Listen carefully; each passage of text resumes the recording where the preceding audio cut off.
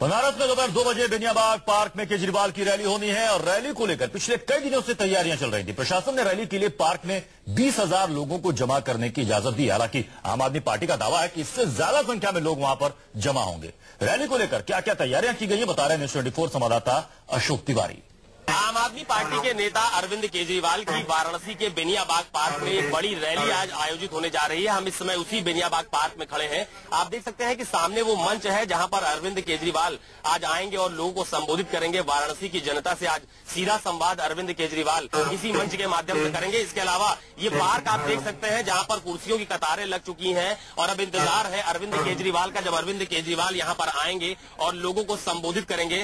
सामने के तीन गेट है जहाँ से आम लोगों के आने का रास्ता बनाया गया है, यानी कि सामने का एक, दो और तीन। ये वो तीन गेट है जहाँ से अरविंद केजरीवाल ने आम लोगों के आने का रास्ता खोला है। इसके अलावा मंच के ठीक पीछे जो रास्ता दिखाई पड़ रहा है, वहाँ से अरविंद केजरीवाल इस ग्राउंड में आएँगे और उसके बाद सीधे मंच पर चले जाएँगे। लोगों को उत्साहित करने के लिए तमाम तरह के बैनर भी बनाए गए हैं। आप देख सकते हैं साफ़ तौर पर इसमें लिखा हुआ है कि डोल रहा है शिव का त्रिशूल और कुंभ लाएगा झूठ का फूल। इसके अलावा जात, धर्म का तोड़ो जाल काशी आए केजरीवाल। तो इस तरह के तमाम सारे जोश भरे बैनर्स आज बनाए गए हैं। इसके अलावा सुरक्षा के भी बहुत सारे इंतज़ाम आज इस बेनियाबाग पार्क में किए गए हैं, जिसमें प्रशासन की तरफ़ से तकरीबन तीन सीओ, आठ एसओ, एक टीआई और इसके अलावा बीस दरोगा और 120 सिपाहियों की लंबी फौज इस पूरी रैली पर नज़र बनाए रखेगी। इसके अलावा आम आदमी पार्टी के कई सारे कार्यकर्ता प्रदेश और देश के कोने कोने से यहाँ पर आने शुरू हो गए हैं।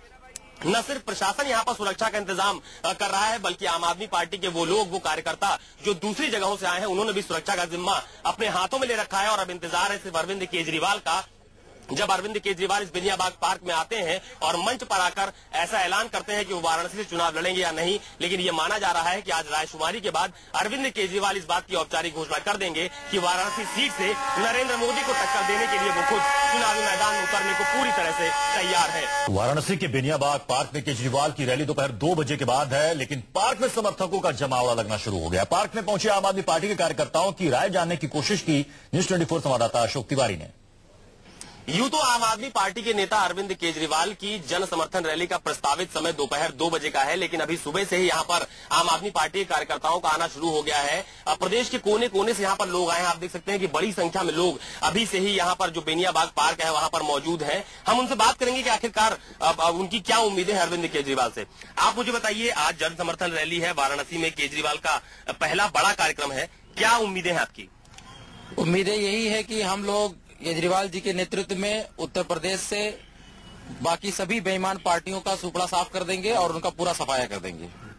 आपको लगता है कि अरविंद केजरीवाल वाराणसी से नरेंद्र मोदी के खिलाफ चुनाव आज ऐलान करेंगे कि वो चुनाव लड़ेंगे? हाँ हाँ। बिल्कुल बिल्कुल। करेंगे करेंगे करेंगे जी।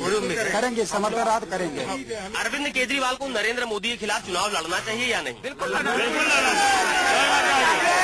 बिल्कुल लड़ना चाहिए। बिल्कुल लड़ना चाहिए। अरविंद केजरीवाल अच्छा प्रदेश के कोने कोने से आम आदमी पार्टी के कार्यकर्ता यहाँ आए हैं।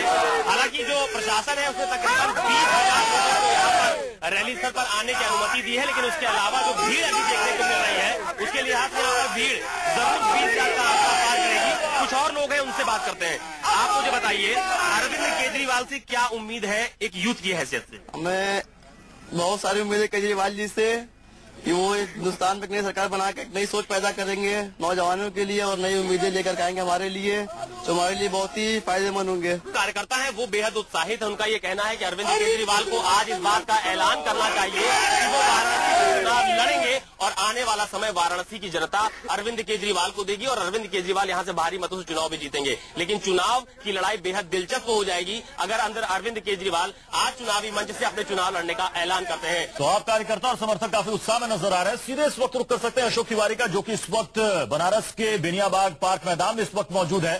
अशोक जब से नरेंद्र मोदी की उम्मीदवारी वहाँ से तय हुई है, ऐसे ही वाराणसी जो सीट है वो हाई प्रोफ़ाइल हो गई है। अब अरविंद केजरीवाल की वहाँ से चुनाव लड़ने की अटकल है। किस तरह का सियासी पारा इस वक्त आप वहाँ देख रहे हैं? देखिए, मैं आपको बताऊँ कि अभी तक कई दिनों से मैं वाराणसी में हूँ। यहाँ पर नरेंद्र मोदी के नाम का ऐलान पहले ही हो चुका है और सभी को इस बात का इंतज़ार है कि आज जो बेनियाबाग में अरविंद केजरीवाल की जन समर्थन रैली है, उस दौरान अरविंद केजरीवाल जब लोगों से रायशुमारी करेंगे, उसके बाद इस बात का ऐलान कर सकते हैं कि वो वाराणसी से चुनावी मैदान में आ रहे हैं। लेकिन सभी को इस बात का इंतज़ार है कि आज अरविंद केजरीवाल इस बात का औपचारिक ऐलान कर दे, जिससे जो आम आदमी पार्टी के कार्यकर्ता है वो पूरी तरह से चुनाव की तैयारियों में जुड़ जाए। आप देख सकते हैं मेरे साथ काफ़ी सारे लोग यहाँ पर मौजूद है। आज दोपहर दो बजे का प्रस्तावित कार्यक्रम है अरविंद केजरीवाल का इस बेनियाबाग पार्क में। लेकिन लोगों के लोगों ने इकट्ठा होना यहाँ पर शुरू कर दिया। तमाम सारे लोग हैं उनकी राय जानने की कोशिश करेंगे।